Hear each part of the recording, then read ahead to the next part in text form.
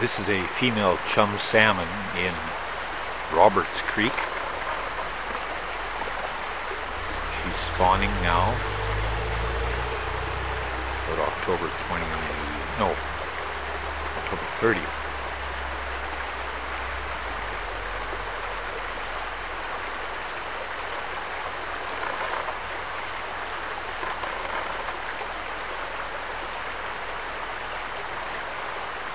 I don't see any males around. She might be just uh, trying to make a noise to attract a male. That's why she's splashing around here.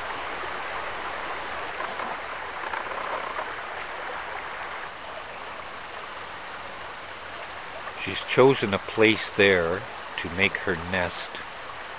Uh, probably her choice is based on the gravel.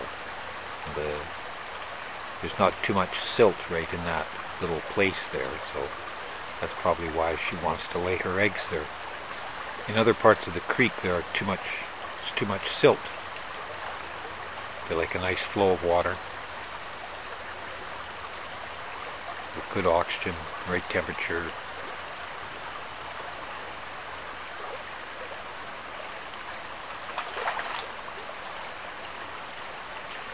There used to be thousands of these fish in these creeks, spawning all at the same time, and the males would fight.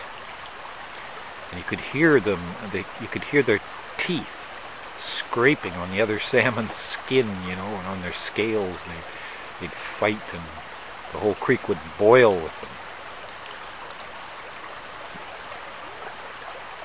In this creek today I've seen uh, three dead ones and this one live one. 20 years ago, this part of the creek right here used to just boil with chum. Just, it was just boiling with them.